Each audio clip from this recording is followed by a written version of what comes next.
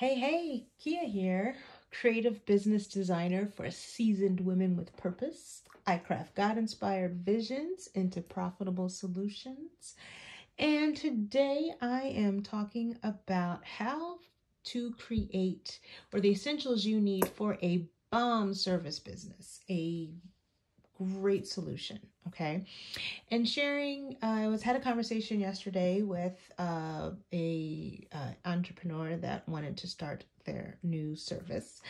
And usually when i get into these clarity sessions they're talking all these different ideas and i want to do this and i was thinking of doing this and offering this and these individual services and then i want to do this and i get it i get it. You have a lot and you could feel scattered and all over the place but I always bring things down to essential, like at the end of the day, who do you want to help and how do you want to help them, right?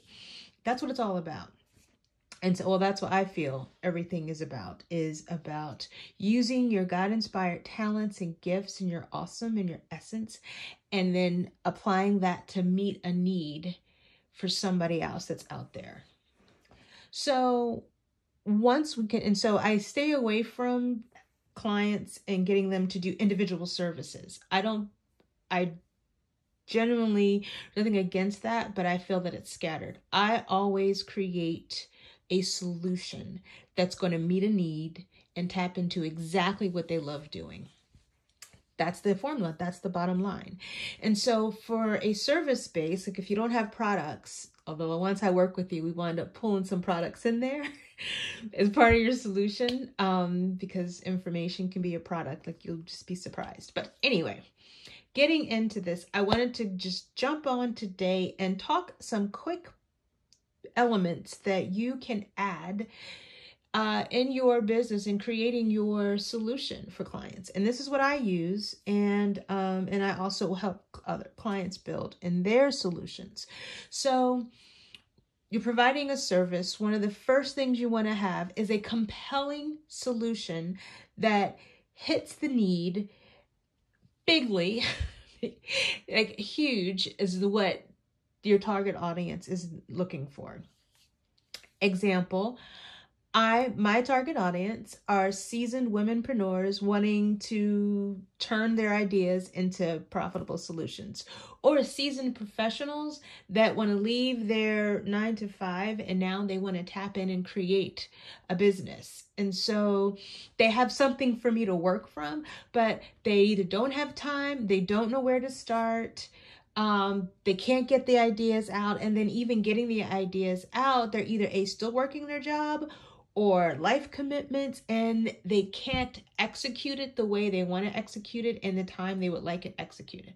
So I created my do everything for you solution to take my strategy, you know, strategic consulting and my design, building out their blueprints and coming up with their ideas, forming it into a total solution, and then outlining every single step they need to take to make it happen I took it one step for well 10 steps further and now I actually execute the plan for them and so all they have to do is give me content and then I build it for them.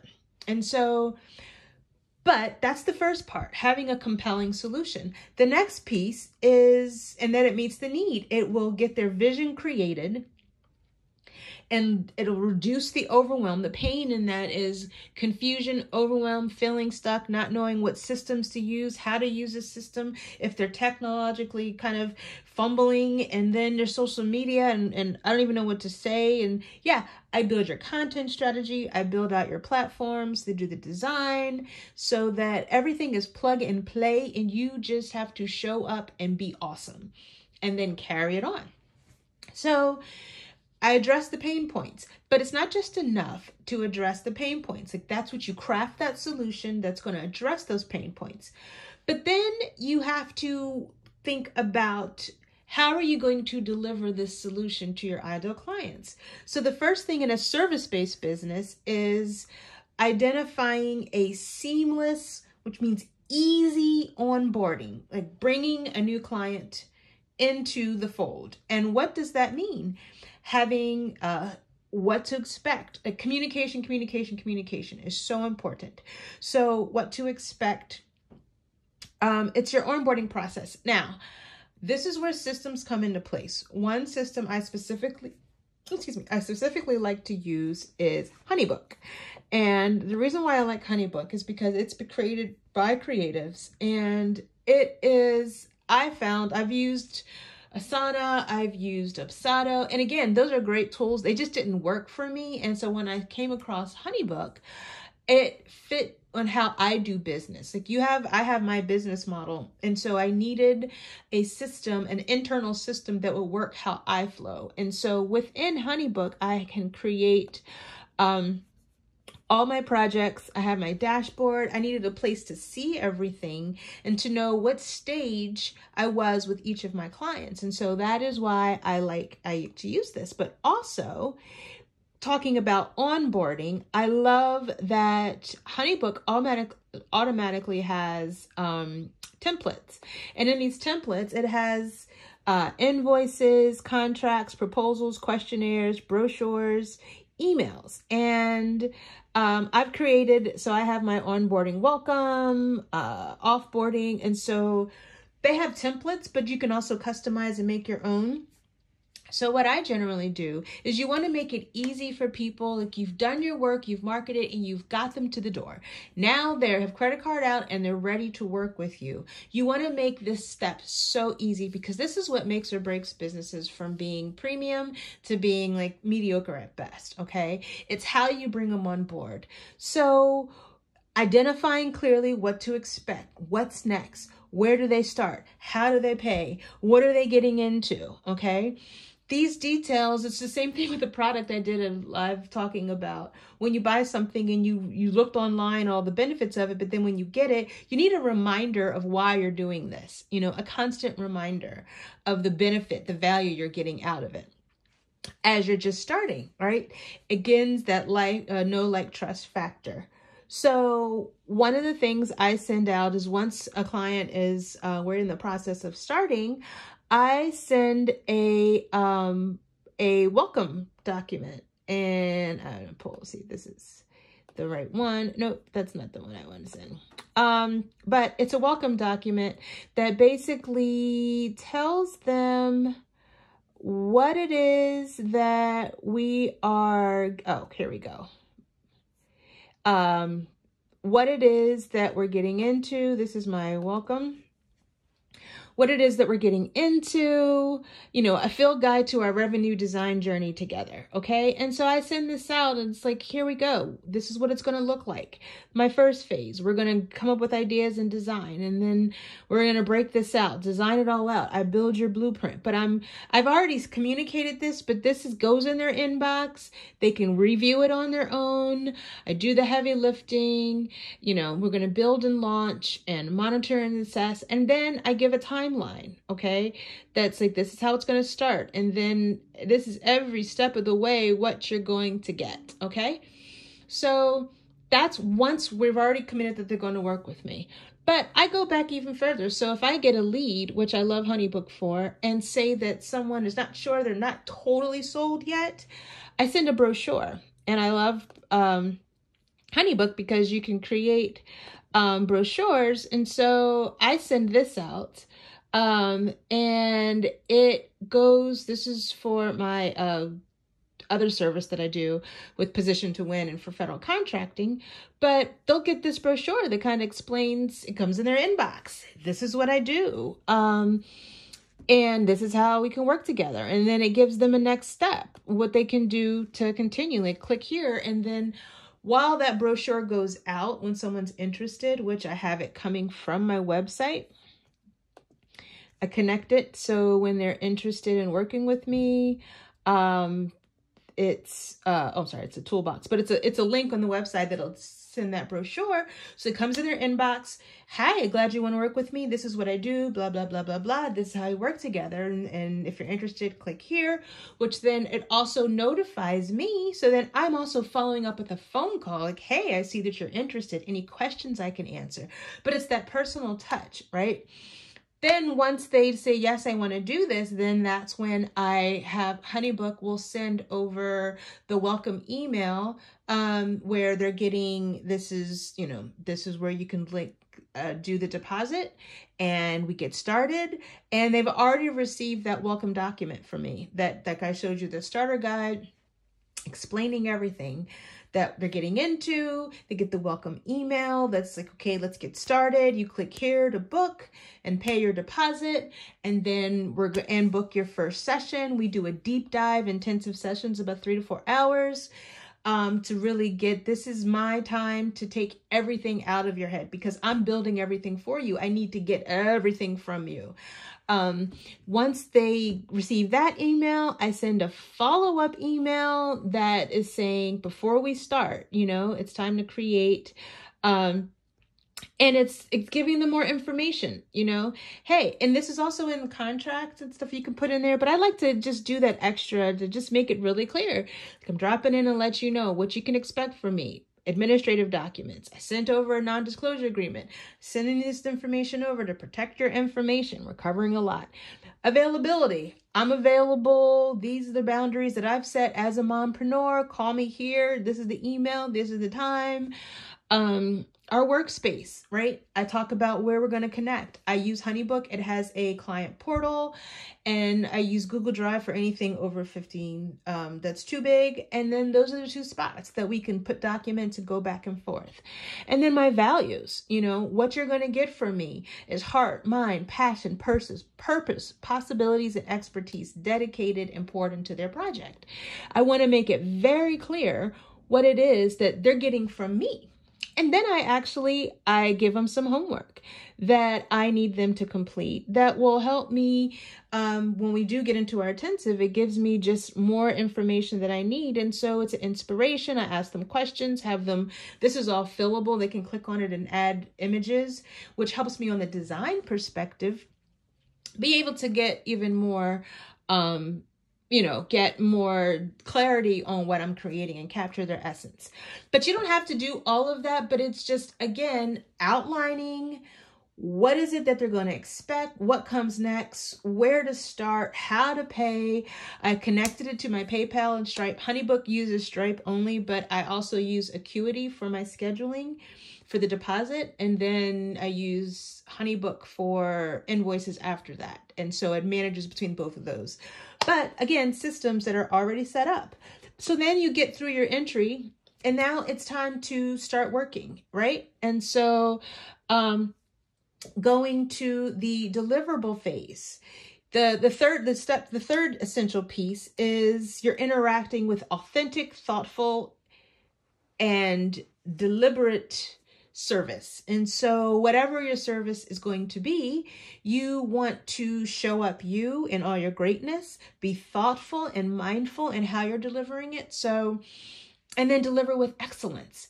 And so, how that looks, you know, when I work and we get to the whole onboarding process, and now it's time to get to work, roll up our sleeves, and let's go in you know, our creative design session. I send them stuff. I give them a little welcome swag bag, uh, digital, all virtual, for them to have because we're going to spend a lot of time together. And so, you know, little perks that I can add to make it easier for them. Um, as we're working, I'll create, um, we do our intensive session, which is a Zoom, and we go in and it's a lot of information. I'm pulling them, I'm pulling them, I'm pulling information, asking questions, digging, making them think. It's like a lot of revelations coming out of that. But then I take everything and then they can breathe easy. And then, of course, I tag up here and there because now I build their blueprint. And so I'm working on their blueprint while I give them homework to do, like continue to work on content and think about this and how do you want this for your customers and things that they need to be doing also. So, but that's the, the brain work. I'm building while they're thinking and creating and being inspired. But you want to make that uh, easy for them. And so I then have a task implementation checklist that I use um, to outline as we're working, you know, but before they get the implementation checklist, this is first I build their blueprint. And like I said, I have, I've done before, they get this complete blueprint that's going to identify the solution we've created, the, um, the business model, the key, the different partners, and then the engagement strategy. And this is basically, this blueprint becomes what I use to build for them. And so they get the first draft, they'll get digital because we're building it. And so we may tweak it. once we start, once I build it, there may be things we've added and um, different, it may have shifted a different way. And so at the end of me creating they'll get a finalized printed blueprint. But before I get to that, I'm talking about during the working sessions, during the time. My projects take usually between three to six months. So there's a lot of time, a lot of space, a lot of emails back and forth. And what do you think about this and this? Once we've agreed on that draft document and the plan, then I take off. And so I'm just checking in. What is your thoughts on this? Approve, yay, nay, we keep moving give me some more content on this. What are you thinking about this? Okay. And so I created this uh, progress checklist that I send them. These are the tasks we still have left to do. These are the subtasks. And so I also use Honeybook's timeline to put times in there. They have under their tools, they have a timeline. Um, I can't find it right now, but they have a timeline that you can set up. But I, I'm a physical person, so I like to use this task list and then I print it out and I just kind of have a checklist of what I do for my clients. But again, this is internal stuff, guys, that you need to put in your place for your business so that you can make it seamless and, and um, a seamless transition. And then everything is in their client portal where they can communicate, they can see it, they get copies of it. I upload it, so all the documents are there. Um, invoicing payments, all that's going out and it's stored in the portal. Then uh, we finish, we do another follow up and they look through everything and it's um, finalized, whether I've designed their deliverables, whatever those pieces are, all that's done. You want to do four, delivers a polished professional on point whatever your solution is that you give, whatever that deliverable you give them. Like I said, mine I do a blueprint that they get and um, along with all of their system setup, their actual product that their uh, whatever their solution is, all of the deliverables that are connected with that. But I don't just give it to you digitally. I also will get a gift that'll have all of the details and some niceties added in there. But you don't just want to say, okay, here's your here's your photos. and just send them an email with their photos. It's like what special touches that you can add to make it feel special for them, but also be amazing and do amazing photos. And then once you close it out, the last piece is closing it out with celebration and communication and keeping them in the community. I always say once I have a client, they're always in my community. I'm always there for them. I'm always rooting for them um if things pop up in my mind, you know, I'm communicating with them. I have a, a special community and not like a Facebook community. For me, they're just in my circle. And because I work so intimately with them for so long, it's like I just, we just connect. And so you want to create that follow up. And so I have a retainer package that once we've created it, it's just kind of we follow up and it's maintenance and assessment and monitoring um, but those are things you can add to your business to have a bomb service based business that's going to really stick in people's minds. It's going to feel premium. It's going to feel quality. And again, you want to deliver on what you do. But these are just some simple things. You don't by all means have to use any of this, these tools, but I just wanted to share um, because I had a conversation yesterday with a young lady and um, she wanted to start her business. And again, she was everywhere with services. And I was like, let's pull it into a solution. We came up with a solution for the pricing. It was kind of on the back of the napkin, kind of quick, but this stuff stays in my head. So it was like, okay, boom, this is what you're going to do. This is how you do it. This is what you can serve. This is how you can offer it. And it gave her clarity and it, it narrowed it down to a solution and who she wanted to serve. And thinking about all the ways she could help them and other things that would make it even better for them. So, service first, guys. If you think about serving, if you think about who you want to serve, you think about what you love doing and how it can meet that need, and then you especially pay attention to ways that you can deliver it with excellence, with that thoughtfulness, the authenticity, authentically you, but also very special and resonates with what they're looking for and meets those pain points, you will have a bomb solution that people will be coming back to you, referring to you, and just thriving. So that's the tip today. That's the lesson. Again, essentials of a bomb service. I'll go back over it again. Five things a compelling solution, a seamless, easy onboarding, um, deliver with excellence, and interacting with authenticity, thoughtfulness, and communicating with excellence while you're working on your solution. And then four, delivering a polished, professional, and on point deliverable, whatever that is, whether it's a product solution, it's a blueprint, it's a framework, it's a photo album, whatever it is that you offer, you want to make sure you give it to them polished and professional and awesome. And then finally, closing out with a celebration and a way to keep them connected and to um, celebrate the success and and to build that community around your clients and make it special for them. So, hope this helps. Talk to you later.